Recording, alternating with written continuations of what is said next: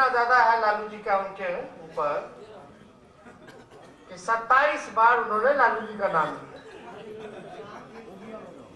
अब एनआरसी पे बोलते हैं, देखिए, लगभग 14 से 15 जो राज्य है, उन्होंने मना कर दिया कि हम एनआरसी को लागू नहीं करेंगे, एनपीआर को लागू नहीं करने देंगे तो लोकतंत्र है कि नहीं है? जहाँ विरोध हो रहा है चौदह चौदह सरकारें बोल रही है कि हम एनआरसी को नहीं लागू होने देंगे अमित शाह क्या बोलते हैं कि हम एक इंच भी पीछे नहीं हटेंगे उनको याद आया ना, बिहार आए थे तो लिफ्ट में फंस गए थे।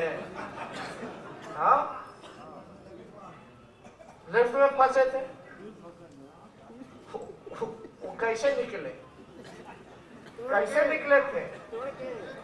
तो बात तो ठीक है तो उनका शरीर इतना भारी है तो कैसे हिलेंगे? भाई तो एक इंच कैसे पीछे हटेंगे उनको देश की जनता जो है पीछे करेगी। जैसे लिफ्ट से निकाला गया था, उसी हिसाब से देश की जनता इनको पीछे ढकेलने का काम करेगी और संविधान को बचाने का काम करेगी। ये महात्मा गांधी का देश है अंबेडकर जी का देश है, कर्पूरी जी का देश है, लोहिया जी का देश है, चरण सिंह जी का देश है। ये गौडसे गवलकर का नहीं है। ये बात कान खोल करके भाजपा के लोग सुन ले। आपकी दादागिरी नहीं चलेगी। यहाँ संविधान चलेगा। आपका गोवलकर का बंच ऑफ़ थॉट्स नहीं चलने वाला। इसलिए भाजपा के लोग जो है, भ्रमित करने का काम करते हैं। ये मुसलमान के प्रति ये बिल है ही नहीं। ये कानून नहीं है। ये 130 करोड़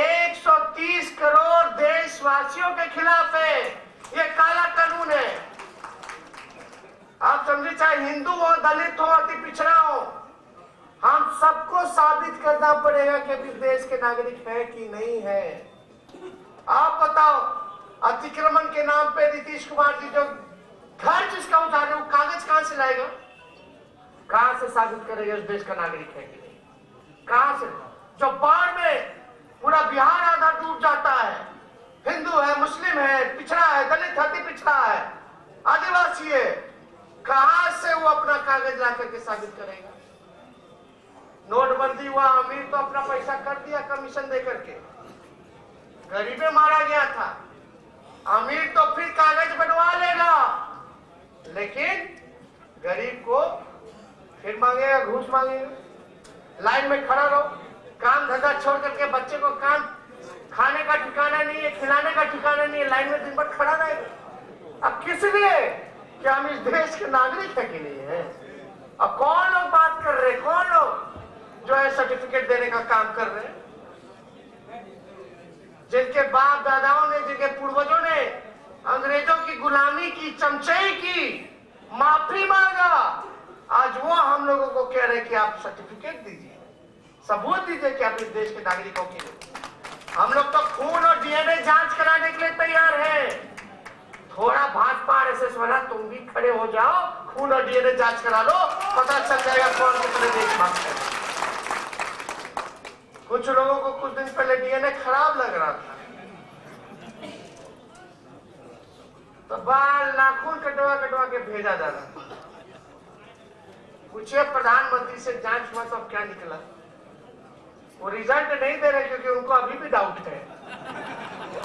नहीं निकालेंगे रिज़ल्ट क्योंकि उनको अभी भी डाउट है। तो हम तो ज़्यादा कुछ नहीं कहना चाहते, लेकिन बिहार के लोगों को अब सोचना पड़ेगा। जिस सरकार ने पंद्रह साल तक गरीबी दूर नहीं की, वो आगे भी करने नहीं जा रहे। कोई काम नहीं करेगा जो पंद्रह साल में गरीबी दूर नहीं कर सकता। इसलिए आप सब लोग जो है, जो कार्यक्रम पार्टी के लोगों ने बनाने का काम किया है, जगदा बाबू जी ने जैसा बताया है, पखवाड़ा जो है कैसे मनाया जाएगा 27 तारीख को 31 तारीख को क्या क्या हम लोगों को करना है? अब इकतीस। सत्ताईस, उनतीस और इकतीस। दो तारीख दिए गए हैं।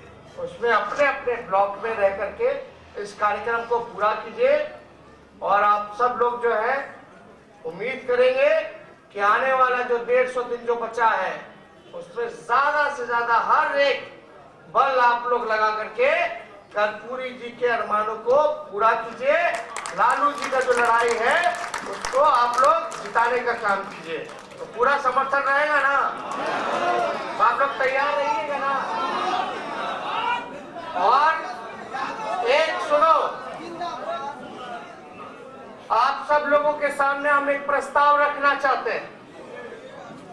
प्रस्ताव यह है कि राष्ट्रीय जनता दल का प्रस्ताव करता हूँ। देश के महान समाजवादी नेता और गुदरी के लाल जननायक कर्पूरी ठाकुर जी को भारत रत्न की उपाधि दी जाए। हाथ उठा करके समर्थन करें। तो समर्थन है ना? बहुत बहुत धन्यवाद।